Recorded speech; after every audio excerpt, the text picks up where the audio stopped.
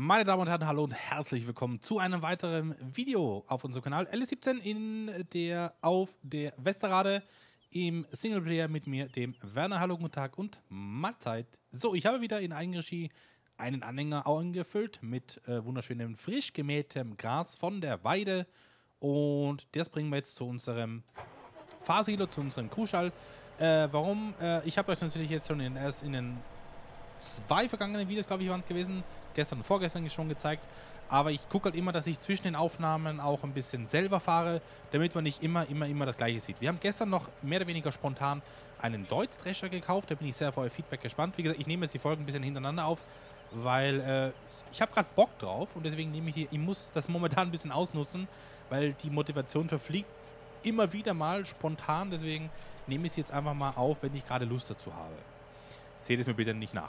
Ähm, aber wir haben die Tage ein Problem festgestellt und zwar dieser Kurs. Der Kurs Hof, äh, der Kurs 88 Hof, das ist nämlich ein Problem äh, bei der Brücke. Das ist nämlich genau hier. Und das müssen wir jetzt lösen, da müssen wir den Kurs jetzt neu anfahren. Wir werden den Kurs jetzt schon mal löschen, 88 Hof weg. So, jetzt machen wir einen neuen, der direkt hier auf dem Feld beginnt, weil ich finde das auch ein bisschen besser. Und dann versuchen wir mal ein bisschen geschmeidiger zu fahren heute, ne? Von der Geschwindigkeit her ist es gar nicht so drastisch. Du musst eben nur gucken. Also es ist so. CP merkt sich die Geschwindigkeiten, die du einfährst. Das heißt, wenn ich jetzt hier mit 10 km fahre, dann merkt sich CP das und fährt dann auch 10 km/h hier im besten Fall.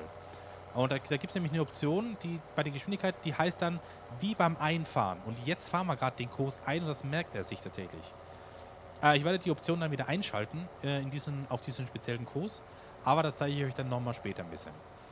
Äh, hier war immer das Problem, wir, sind, wir haben mega weit ausgeholt. Ne? Wir werden jetzt nicht so weit ausholen, wir werden ein bisschen weiter hier in der Mitte bleiben und fahren jetzt einfach mal so rüber. Mal gucken, ob es funktioniert. Ich war auch der Meinung, dass es beim ersten Kurs schon funktioniert hat.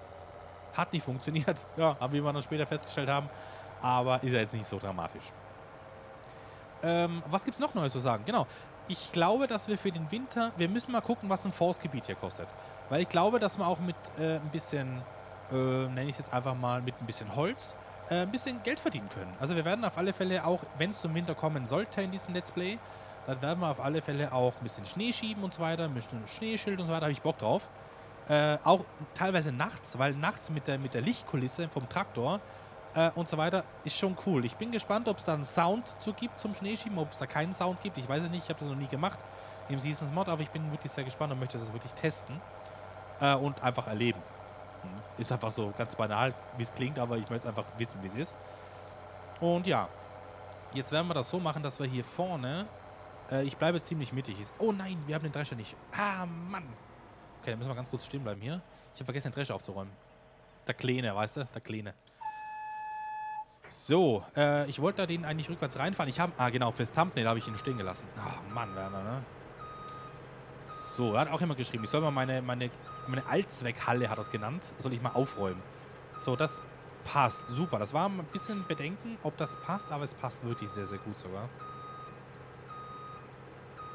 So, wir schieben den jetzt einfach mal gerade zurück und werden den aber so genauso wie er jetzt ist, werden wir zusammengebaut lassen. Ne? Nicht irgendwie das Abkuppeln irgendwas, genauso wird er stehen bleiben, weil die dicke Bertha, die werden wir dann einfach noch ein Stück hinten reinschieben und dann haben wir vorne ein bisschen mehr Platz. So ist der Plan. Mal schauen, ob der Plan aufgeht. Da steht übrigens der 900er Fendt. Vario S4, 939. Geiles Gerät. So. Junge Dame, wie kann ich Ihnen helfen? Hello. Hello. So, wir steigen mal ein. Wir fahren einfach mal jetzt rum. Die Kursaufzeichnung läuft noch. Viele glauben immer, die Kursaufzeichnung ist beendet, wenn du rausgehst. Nein, nein, nein, nein, nein. Ich möchte hier gerne noch ein Stückchen reinfahren. So, weißt du? Noch ein Stück. Passt. So, F88 für Feld 88 zum Hof. Äh, passt. Hätte es jetzt auch Hof ein äh, nennen können, aber ist nicht so schlimm. Wir machen jetzt Hof ein, Hof aus. Läuft. Oh, eine Weiterführung. Ein schönes Ding. Und dann machen wir Hof aus zu den Kühen. So, da kannst du weiterfahren und dann sage ich deaktivieren. Läuft. So, funktioniert schon wieder. Da fährt schon wieder einer, weißt du? Wir werden jetzt in Eigenregie, ich weiß noch nicht genau, was das hier ist. Ne? Ich, glaub, ich hoffe, das ist unser Lager. Ich bin aber noch nicht ganz schlau geworden draus. Sieht auf alle Fälle aus wie ein Lager. Betreten für Unbefugter verboten. Wertvoller Bestand, was Schweinebestand. Okay. So, ähm, jetzt müssen wir hier mal... Ich suche einen neuen Platz für das Ding hier. Weil ich möchte nicht jetzt mal das Ding ausklappen müssen, damit wir es abkuppeln können, weißt du? Jetzt muss ich mal was testen. Wenn ich es runterlasse, wird es automatisch ausgeklappt. Das ist nicht gut. Kann ich es so abkuppeln? Ah, das funktioniert aber. Aha. Ah, schwierig, schwierig, schwierig. Haben wir irgendwo eine sehr hohe Halle? Haben wir nicht hier, ne? Ja doch, wir hätten die Werkstatt. Ah, die Werkstatt nutzen? Auch blöde Idee, aber nicht, oder?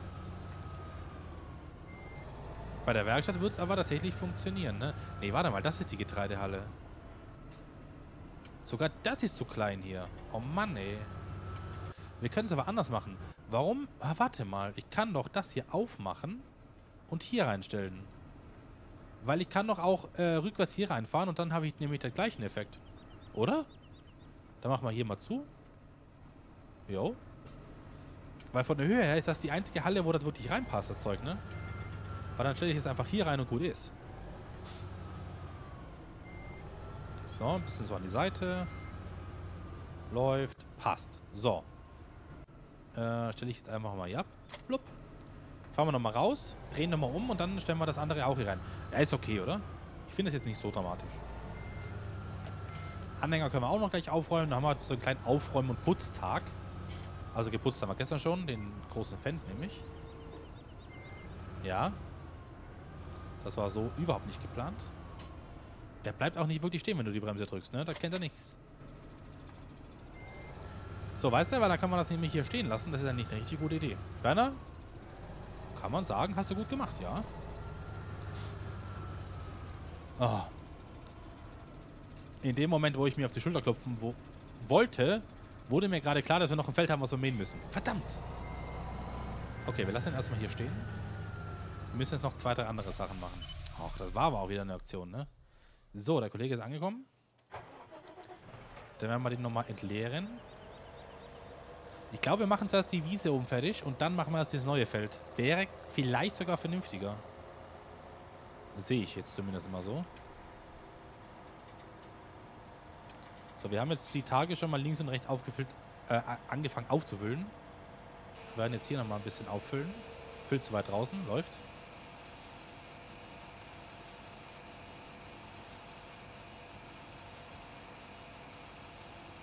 So. Ja, sieht doch ganz okay aus. Sieht doch ganz okay aus. Gut, dann schicken wir den Kollegen mal wieder zurück. Natürlich muss es ja weitergehen. Ne? Wir können jetzt nicht hier stehen bleiben und sagen, ja, ja, wir haben wieder mal eine Fuhre. Das geht ja nicht. Ähm, ja. Ja, und dann fahren wir Hof 88. Das sieht ja nicht ganz sportlich aus. Das machen wir mal. Das hat, das hat ja nämlich schon mal funktioniert, ne? So ist ja nicht. Also, ich mache ja nicht irgendwas, was nicht funktioniert hat, sondern das hat wirklich schon funktioniert. Ähm, genau. Silo-Werkzeug wollte ich auch kaufen, ne? Äh, Schiebeschilder. Ah, oh, ah, ja. Mm, das ist ja schön. Ist ein bisschen teuer, aber ist schön. Da brauche ich aber das Schild für, ne? Dann machen wir das anders. Dann nehmen wir uns, dann kaufen wir uns das hier. Silo-Verteiler. Oh lol. Dann nehmen wir jetzt mit dem Silo-Verteiler, würde ich sagen. Ja. Kaufen wir uns auch den Silo-Verteiler. Das ist der Silo-Verteiler, ne? Genau, Silo-Verteiler kaufen wir uns auch. Schon ewig nicht mehr verwendet, das Zeug, aber dürfte nicht so schlecht sein. Ähm, ich glaube, wir haben kein Gewicht am Hof. Kann das? Ich würde tatsächlich hinten nur so ein fettes Gewicht draufhauen und gut ist. Ah, ah, hier ist noch eins, aber das ist ein bisschen mickrig. Haben wir noch nicht, haben wir nicht, nicht was für große Jungs? Ja, sowas in der Richtung, weißt du? Boah, ist halt teuer, ne? Alter Falter. Das ist halt wirklich teuer. Aber komm, das kaufst du einmal ähm, und dann passt das aber auch. Boah, 6000 kannst du bezahlen für. Komm. Was kostet die Welt? Da fahren wir das mal holen, ganz fix.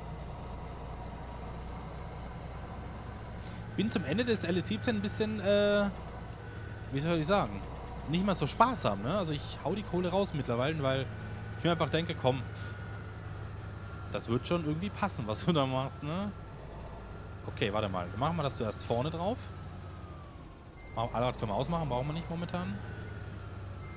Ja gut, wenn du so einen fetten Traktor hast, ne, jetzt mal ganz ehrlich, ne? Da musst du auch ein fettes Gerät vorne dran klemmen. Da lacht doch jeder aus, wenn du hier mit einem 300 Kilo Gewicht um die Ecke fährst.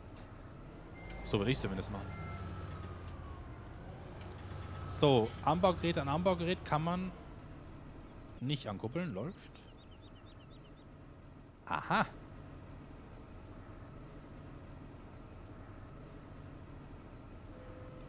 Ah, okay, das ist mit, dem, mit, der Maus, äh, mit der Maus zu machen.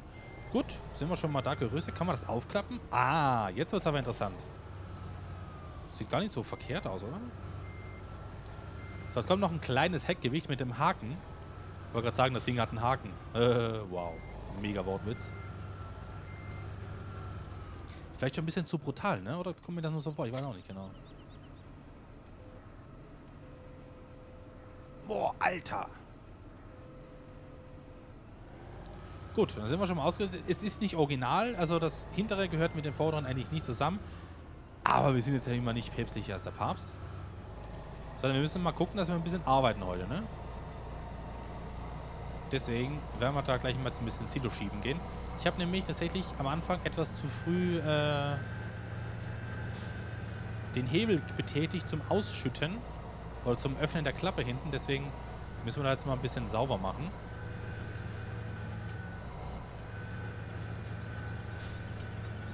So, ich bin ja sehr gespannt, wie das jetzt hier wieder funktioniert. So, kann ich jetzt... Warte mal, ich muss mal die Gerätentyp wechseln. Das machen wir mal an, ne? Okay. Kann ich das noch nach unten? Aha. Aha, jetzt wird ein Schuh draus. Okay, dann fahren wir jetzt einfach mal, ne? Oh, das sieht ja nicht schlecht aus, ne? Bisschen höher machen. Warte mal, das sieht doch echt nicht schlecht aus. Ich habe sowas tatsächlich bei uns schon mal im Einsatz gesehen. Das sieht wirklich genau so aus, ne? Können wir es noch ein bisschen tiefer stellen, theoretisch? Vielleicht bin ich auch zu schnell dafür, weißt du? Kann auch sein.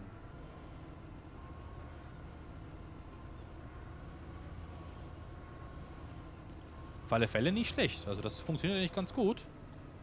Boah, bin ich tatsächlich positiv überrascht davon.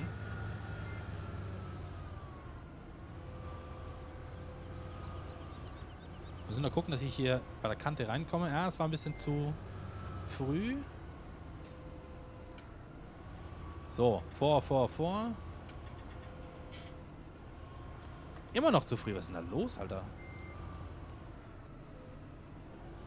Wir müssen nur ein bisschen, weißt du, drin haben. Ich möchte nicht hier irgendwie draußen, sondern wir müssen wirklich drin haben. So, jetzt ist okay. Du kannst wirklich schön die Höhe dosieren und dann wirklich bei einem Ding dann einfach entlang fahren, ne? Machen wir es ein bisschen höher. Oh, jetzt wird es aber dann voll da vorne. Es sieht schon mal geil aus, muss man ehrlich so sagen. Mir gefällt das richtig gut. Jetzt haben wir hier eine kleine Rampe gebaut, ne? Das war eigentlich nicht so geplant. Du merkst ja wirklich jeden Schritt, was du mit dem Ding machst.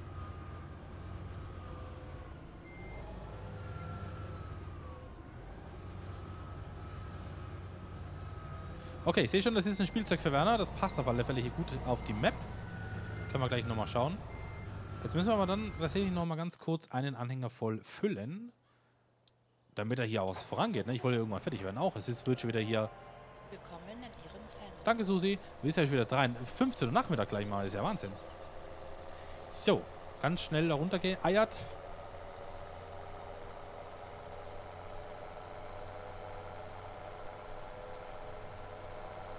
Wie der Kollege, also wie der, wie der Zuschauer, ist eigentlich ein Zuschauer, äh, Mario D sagen würde, alles was geht. Wir haben uns mal auf der FarmCon getroffen. Äh, Mario D ist ja schon wirklich ein, wirklich ein lange, lange, langer, treuer Zuschauer. Äh, super sympathischer Typ. Und ähm, weil ich immer gefragt habe in den Videos, ja, wie schnell fährt man denn eigentlich mit dem LKW auf dem Feld? Und auf der FarmCon sagt er ganz trocken zu mir, fahr, was die Hütte hergibt. Das merkst du schon, wenn du zu schnell bist. Da dachte ich, ja gut. Das hatte ich irgendwie bei mir eingebrennt ins Gehirn. Weiß auch nicht warum. So, ja, ah, lass es unten. So, warte. Ich habe ein bisschen schief, äh, bin hier schief gefahren. Ne? Das ist eigentlich nicht so cool. Weil wir können das eigentlich aber auch gerade ausrichten, ne? Weil die, die ganze Zeit hier diagonal drüber fahren macht ja auch gar keinen Sinn. Der ist ja komplett sinnbefreit. So, warte. Wir richten das jetzt neu aus. Könnte vielleicht eine Minute dauern, aber wird uns hoffentlich zugutekommen.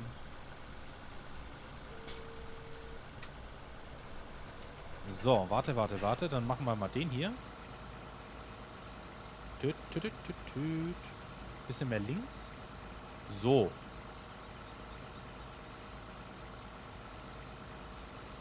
Ja, so, ich würde mal sagen, es passt so, ungefähr.